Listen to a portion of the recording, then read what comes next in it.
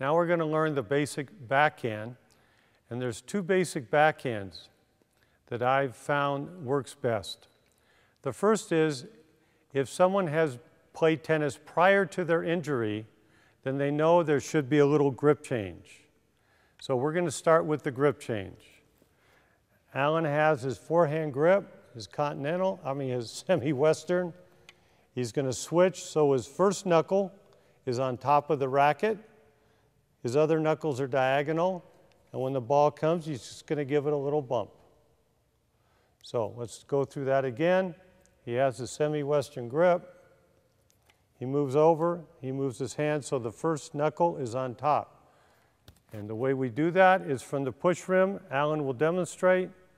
He has a little push, changes grips, gives it a bump.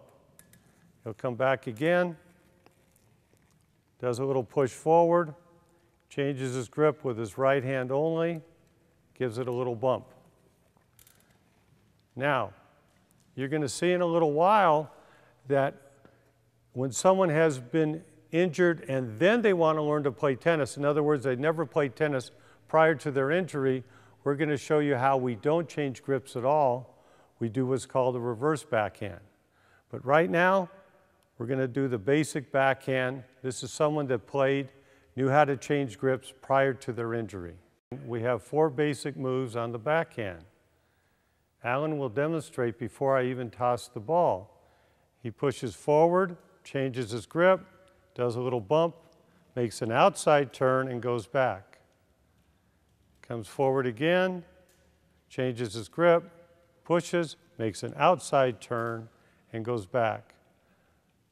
This time he pushes to the side, changes his grip, makes an outside turn and comes back. And one more of those, please. Goes to the side, changes his grip, little bump, and goes back. Third position. He turns, he goes back looking for a high ball, changes the grip, little bump. One more, please.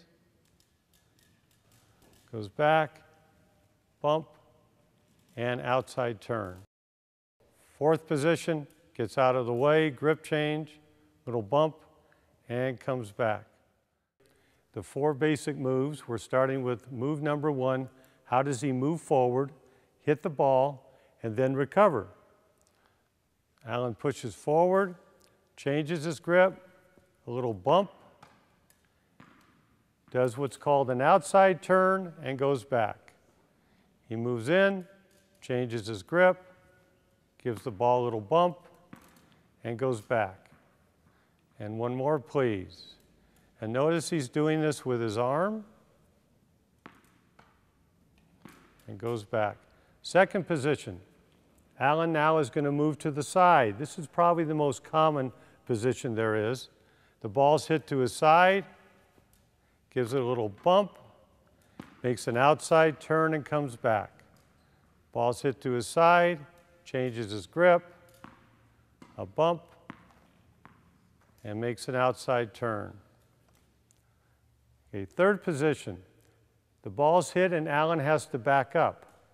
Let's see what he does. Gives it a bump and gets out of the way. He goes back.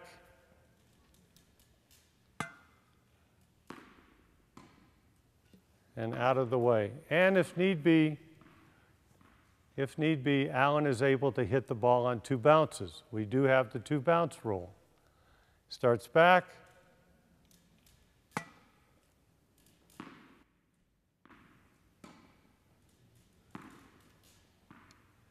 Now for fourth position. The ball's hit right at Alan. He has to get out of the way. Let's see how he does it.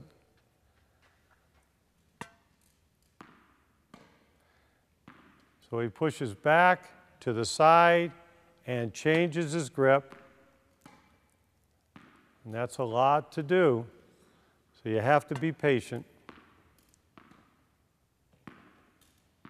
We use the same progression. Alan now will back up to three-quarter court, which is halfway from the service line to the baseline. He's now going to grip down on the racket. His first knuckle is on top. We call this a continental grip. And he's going to go through the same four moves. So he moves forward, gives the ball a little bump, and he adds a little follow through. And his racket, as it goes up, finishes like this, and it's like he's looking under a bridge, as opposed to letting his wrist flip. He hits, little follow through, like he's looking under a bridge. He moves up. He looks under the bridge. He moves up. Grip change. Looks under the bridge. Now, one thing on the backhand that will help is as he changes his grip, his racket goes towards his tricep. Then he looks under the bridge.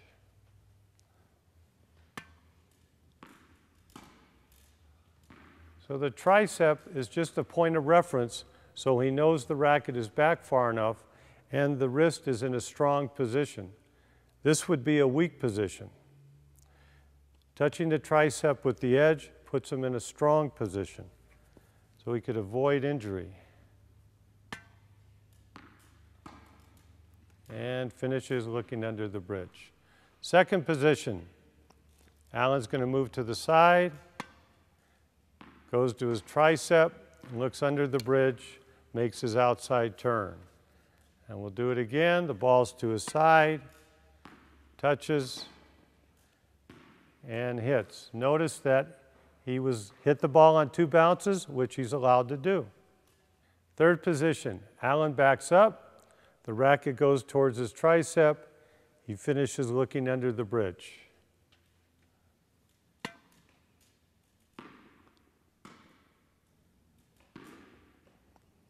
Alan goes back. He's allowed two bounces. Very good. And we'll do one more.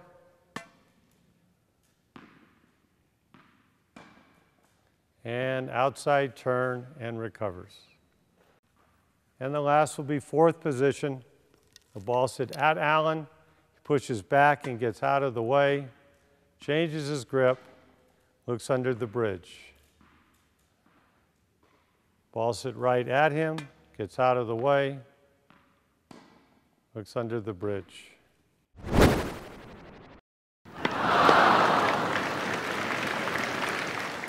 First move, forward, outside turn, second move to the side, grab the left wheel, outside turn, third move, back, outside turn, last move, the ball. That's right at me. So on the backhand side, the ball that's coming right at me, my first move is with the left wheel, then maybe the right, depending on where the ball exactly is. So some tips for the basic slice is, remember you want to start on your tricep here, and you want to finish in a strong position. You don't want to let the wrist go. So let's see how that looks with a ball feed. Strong position. You don't want to let the wrist go. And also with the backhand, you, you don't want to start with the arm straight with the topspin. You want to start with the elbow bent in a nice loose elbow position.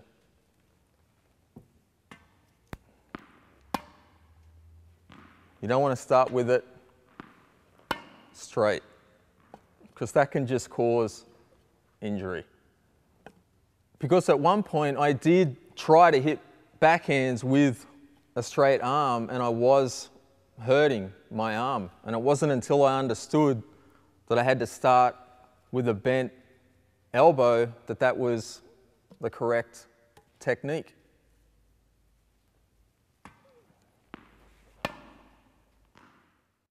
Alan now is going to demonstrate the reverse backhand where he uses his forehand grip, which we call a semi-western, rotates the arm, and then hits up on the ball. This works very well for someone that's had an injury, they're in the chair, and now they want to learn to play tennis. So there is no grip change. In fact, for some people that played tennis prior to their injury, this might work out well for them also. So Alan has a semi-western grip, he pushes forward, he rotates his arm, and he hits up. The chair movement is exactly the same. The only difference is no grip change. He rotates his arm, and he goes back. First position, second position to the side.